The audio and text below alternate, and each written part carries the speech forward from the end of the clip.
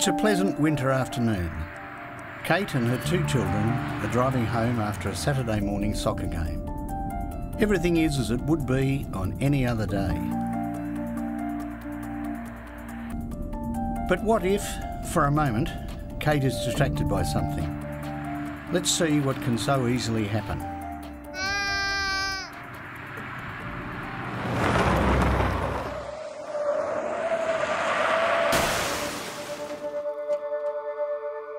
Two-year-old Oliver in the back seat is badly shaken, but he's unhurt.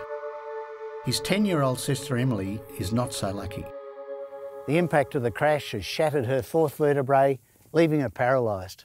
Worse still, their mum Kate has severe injuries and the isolated location of the crash means that she'll die before paramedics can reach her. How do you explain this tragedy to Kate's family?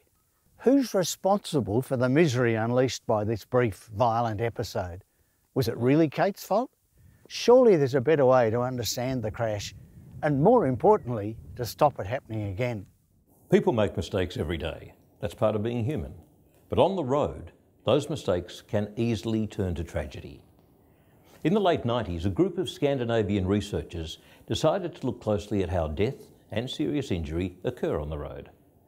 They found that most crashes aren't the result of extreme behaviour, but are the result of ordinary people making ordinary mistakes. So they proposed a fundamentally different approach. They called it the SAFE system. The SAFE system doesn't blame drivers for the devastation of the crash. It's proactive, asking how we can reduce risk and make the whole system more forgiving so that mistakes don't cost lives. The SAFE system takes what we know about people, how we think and act, and puts that in the centre of how we design and operate our road transport system. There are four areas that the SAFE system focuses on. Road users, on roads and roadsides, on our vehicles, and on the speeds we drive at, and how these all link together. Under a SAFE system, we strengthen every part of the road system. So if something does go wrong, whether it's the speed, the car, the roadside, or the driver, the rest of the system picks up the slack and it doesn't result in serious injury or loss of life. Serious road trauma is preventable. For example, we see more scrapes and bumps at roundabouts than at regular intersections. But the slower speeds and more forgiving impact angles make the crashes more survivable. The SAFE system is not just about reducing crashes, it's about saving us from death or serious injury. In a safe system, a crash is not necessarily someone's fault. It's a system failure. Safety is everyone's responsibility. Drivers, politicians, town planners, engineers, educators, vehicle manufacturers and importers, we all have an important role in creating a safe road system. The safe system shows us that people don't need to die on the roads. Crashes will still happen, but a safe system makes those crashes survivable. So if a person is involved in a crash, they can walk away rather than be carried away. Let's return to Kate and her children and look at what went wrong and what difference a safe system would have made. Kate is probably a good driver, but in retrospect, there were human errors that contributed to the crash. She could have been in autopilot because she drives that stretch of road very often. She may have been distracted by Oliver's cries from the back seat, and she may have been tired after a busy morning. We're only human, and part of being human is making mistakes. We could be inexperienced, not paying attention, stressed, or breaking the rules. Even if all of us obeyed the rules all the time, we'd still make mistakes, leading to crashes. But with the SAFE system, mistakes made by the driver don't have to result in death or serious injury. The road Kate was travelling along is a typical Tasmanian road a lot of crashes happen on rural roads that are very similar to this one. If the shoulder of the road was sealed, Kate may have had time to correct her path before she drifted onto the unsealed verge and lost control. If there was a rumble strip to mark the side of the road where the shoulder begins, it would have given Kate an early warning of trouble. It was the impact with the tree that killed Kate.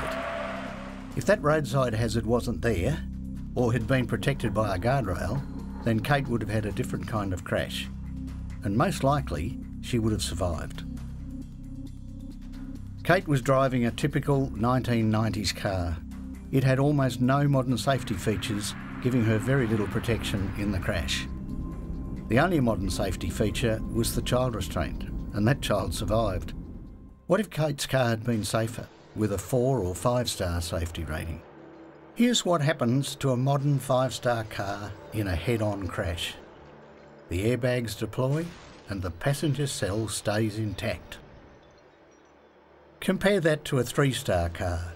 This is actually a little safer than Kate's, but still, the passenger compartment starts to collapse, putting the driver at risk of severe chest and leg injuries. The windscreen pops out and the dashboard is forced back into the passenger space. To see how far things have come, see what happens to a supposedly rock solid 1959 Chevrolet. And here's how its modern counterpart fares in the same crash. All these safety features make the crash that much more survivable for everyone. One of the areas of the safe system is speed. We need to look at the features of the road and set the speed accordingly. And it isn't just about the speed limit. It's important that drivers understand their responsibility to drive to the conditions. No one wants to be a bad driver, but we all make mistakes from time to time. And when we're driving a car, even a single mistake can lead to injury or death. We are all vulnerable. We're simply not able to withstand the forces of a 100 kilometre per hour crash. We were designed to withstand forces more like falling out of a tree, not coming to a sudden stop in a ton of metal travelling at 27 metres per second. If the speed limit on the road was 80 kilometres an hour, instead of the rural default speed limit of 100, her car would have hit the tree 20 kilometres per hour slower, or she might not have hit it at all. Even though Kate may have been distracted by what was going on in the car, if all the other elements of the safe system were improved, Kate would be alive, Emily would be back playing soccer next weekend, and Oliver would grow up knowing his mum. That's a total of five risk factors eliminated by a safe system, each one reducing the chances of serious injury or death. We do tend to accept the road toll. Even the word toll implies it's a price that we're willing to pay. Currently, 1.3 million people worldwide die from road crashes each year. This total is equivalent to six and a half jumbo jets crashing every single day. If planes crashed that often, we wouldn't fly. Yet we accept the road toll as the price we pay for mobility. The SAFE system is a harm minimisation approach. It looks at the system as a whole and asks, what can we do? How can we strengthen all those different parts to make the system safer? The SAFE system allows for the human factors in our road system, realising we all make mistakes and recognising that our bodies are fragile. It asks how roads and roadsides can be made more forgiving of human error. It looks at how the vehicles we drive can be improved to prevent crashes and protect us from harm if a crash does occur. And it ensures the speeds we travel at are appropriate for the roads we travel on and for the other people who use those roads. The SAFE system is a proven approach. It's getting great results internationally, significantly reducing road trauma. The Road Safety Advisory Council believes in the SAFE system approach.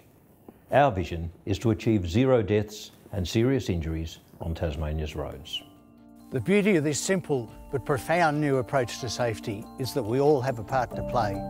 Each of us can help reduce the risks we all face in getting around every day. If we can do that, then we can look forward to a future where no one is hurt or killed on Tasmanian roads, thanks to a truly safe system.